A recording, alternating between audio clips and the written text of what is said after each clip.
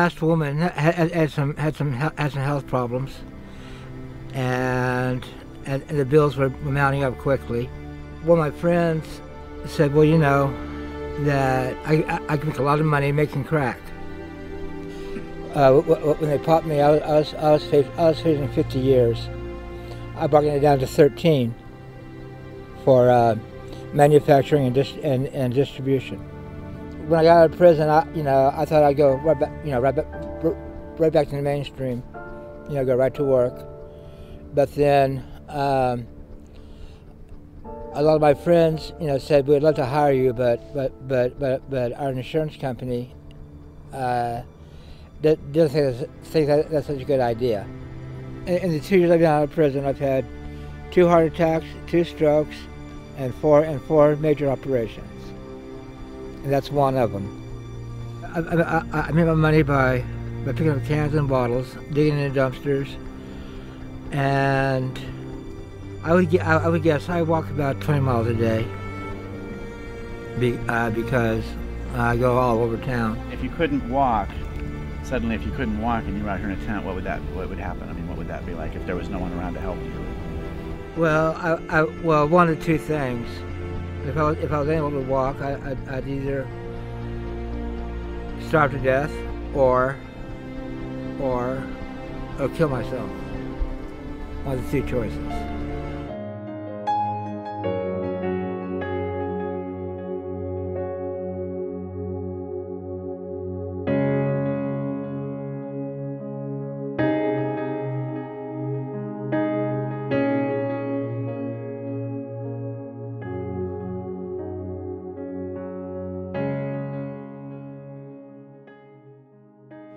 Name's Sherry Locke, and I was born in the area, raised here all my life. Uh, I was born at St. Joe Hospital and was raised in the Eddyville area. My mother was a school teacher, my father was a farmer, and I was a school teacher and sales manager at a television station, a general contractor. And now I'm a pastor and an antique dealer and manager of a soup kitchen.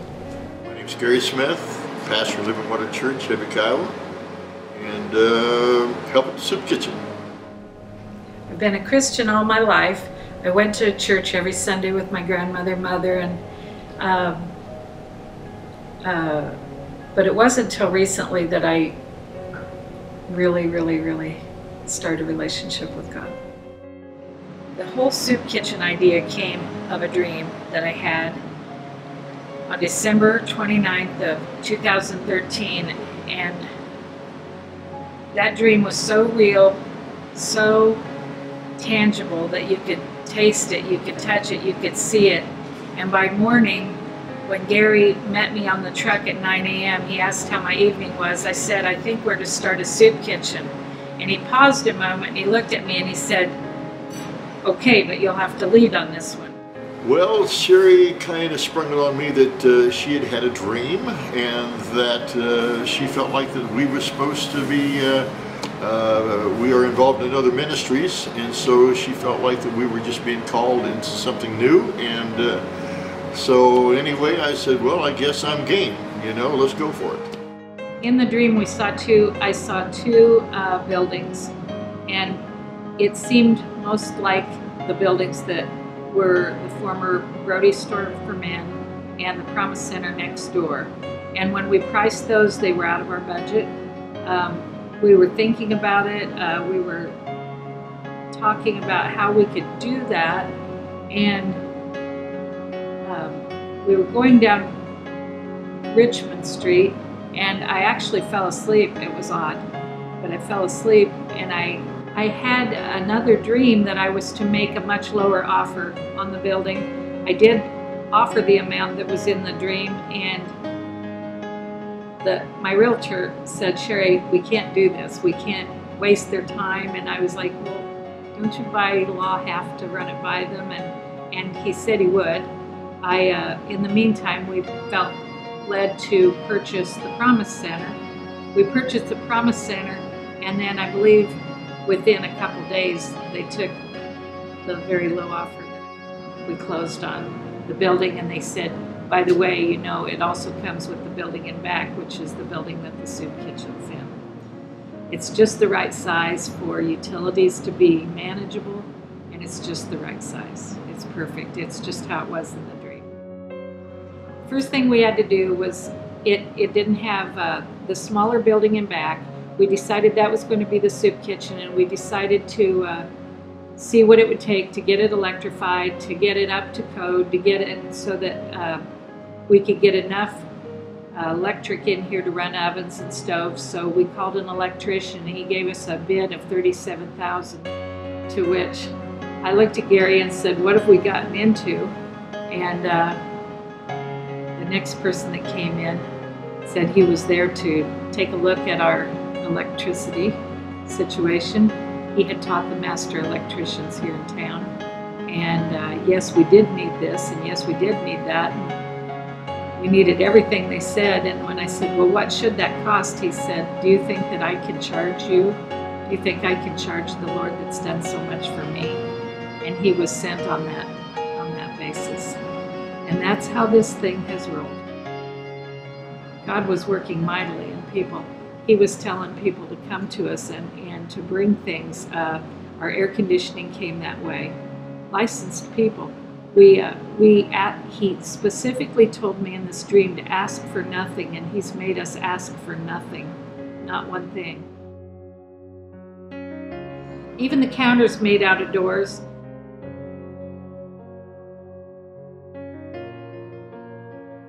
The walls are covered with doors and windows. Made the awnings out of used uh, lumber and stretched it with fabric from up the street at the quilt shop, and the guy across the street did the stencils on them. And uh, it it all turned out just like the dream. We did the porch railing up above, and we did uh, the skylights and the faux the faux sky. It's always sunny in here. Our ladder rack our is our pan rack. Our ladders, our pan racks, and everything was supplied. Everything was supplied.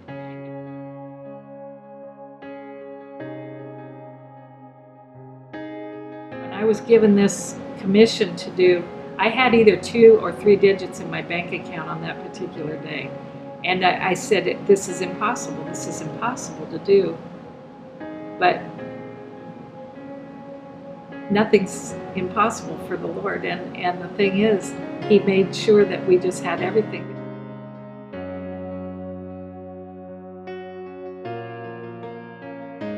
We don't have the money to do what we need to do today.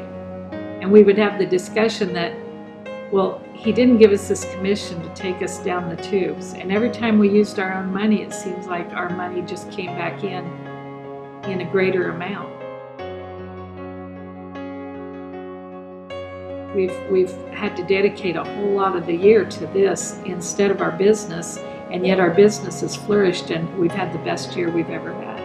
And that even this winter, when I didn't, I thought that my job was to build the soup kitchen. I did not have it in my head that I was going to be cooking at the soup kitchen. And it was always at the right time. There was one day that I um, said, I don't know what we do about this concrete out here. It just looks awful. There was big holes and I said, I can't requisition a new alley or street.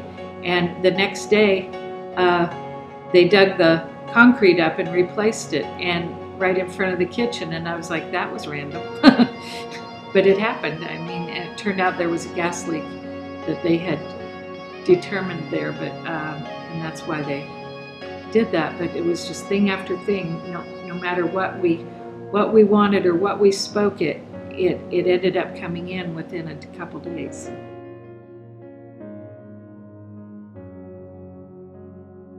Sherry and I just kind of took off because we felt like that's the, what the Lord called us to do, you know.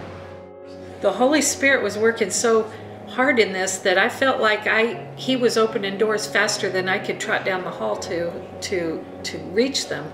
The community has really embraced this. Facebook, we've got uh, 2,500 members and growing. Uh, people are uh, asking to be members on it every day and then asking how they can help. Uh, we have people from with commercial kitchens bringing in uh, um, desserts and, and and helping in that way. They've people have been bringing in uh, meats and cheeses, and that helps. Uh, they've been eating here. That's been the most beautiful thing is that they've been brave, and they've been brave to to to look at people the way God looks at people, and that is at their hearts and not at what they are, not in a judgmental way. That everybody's eating with each other, and that's nice, and everybody seems happy about it. And and they they donate, and that allows us to the next day have our meal. And when people give a little bit more, that helps those people that don't have and are down and out. They can get pretty trapped in that place of down and out. One of the best things I think about when you come into this kitchen is when I said that he put all the right people in all the right places. Pastor Gary is very good at meet and greet. And when they come in the door, they're called hello by name and and they, they are greeted with a hug and a smile and and and Pastor Gary is very good at that. He's the first person they see when they come in the door. Helping them get a smile on their face, help them to put their troubles outside the door, and help them show them that they're that somebody cared about them. Although it's beautiful because I have a window, and as they come in the door, I get to smile at everyone too. So um, I enjoy people. I enjoy being around people and uh, being able to serve people. I guess that's the one thing where I feel like that I can shine the most is uh, I've got a heart, not only for, for all people. You know, everybody that comes through that door, I don't care whether they're a doctor, lawyer, or an Indian chief, they all need to be treated with the same respect.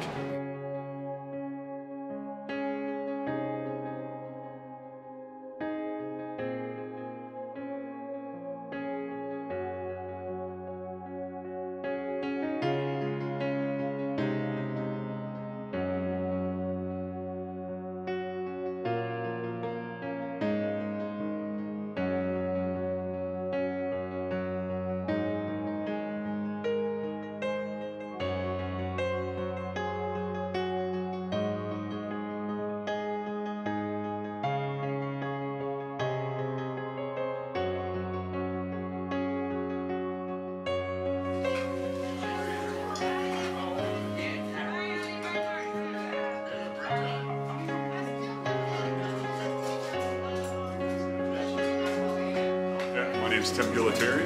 I, I work here at the Blessed Soup Kitchen. Volunteer, you know, a couple times a week. Uh, you know, I always wanted to volunteer somewhere, but just never, you know, never found a place to do it. You know, I tell people volunteering, especially at a place like this, it gives you a feeling of you know, money you just can't buy. You, you go home and it just, it's a simple, it's a sense of so, that you did something. So, you know, and you make people smile. My name is Stephen White, and I've been coming here to the soup kitchen for quite some time, just about since it's been open. And these are wonderful people. They, it's, it's just hard to put into words, really. It, they've been a blessing, truly.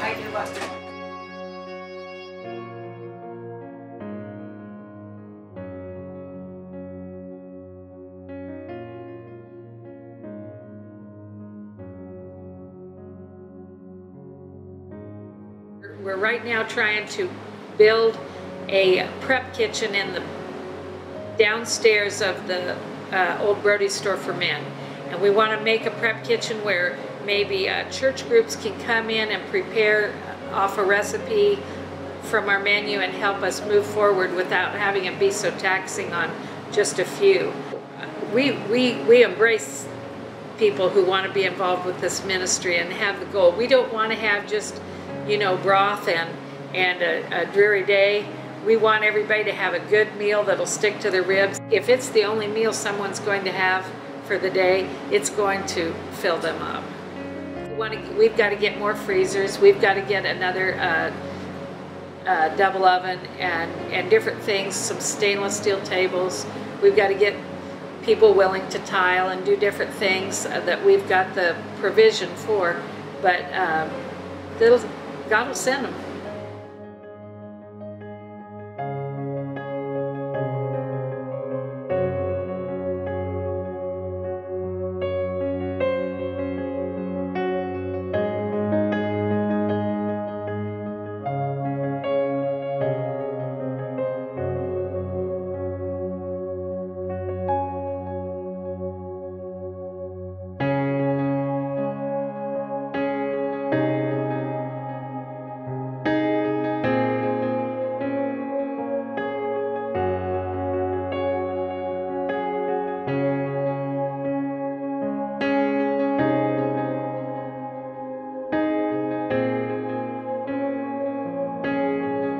To, to all these people, my biggest thing is thank you, thank you, thank you, thank you, thank you.